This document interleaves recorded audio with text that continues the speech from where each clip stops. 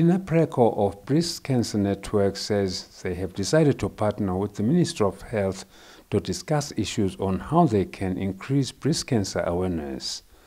She says they decided to train rural health motivators on training about cancer. She says they've been recently training Mbabane East and Mbabane West rural health motivators. This is what she has to say. We did a baseline study to find out the knowledge level of people on breast and cervical cancer issues and how people got access to information on these conditions.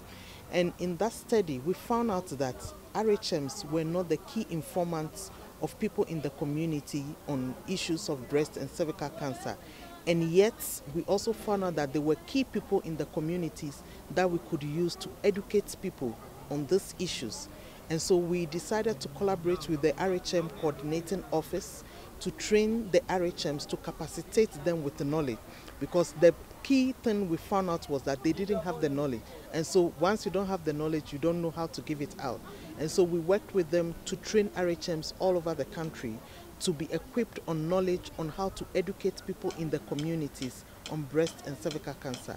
And we are hoping that at the end of these trainings they will go to the homestays educate the people so that the screening services, the equipment that have been put in the facilities would be utilized. People would take up screening for cervical cancer as uh, uh, would be required.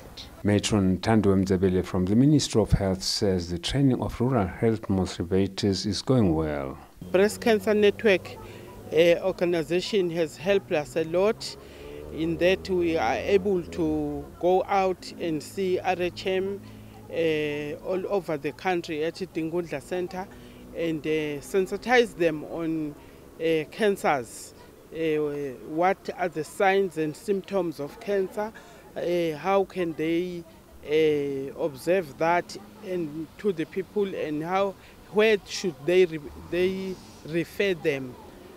because breast cancer network has bought some equipment which are in the health facilities to uh, examine and treat all types of cancers. Metro Mzabel says it is important for everyone to check their health regularly.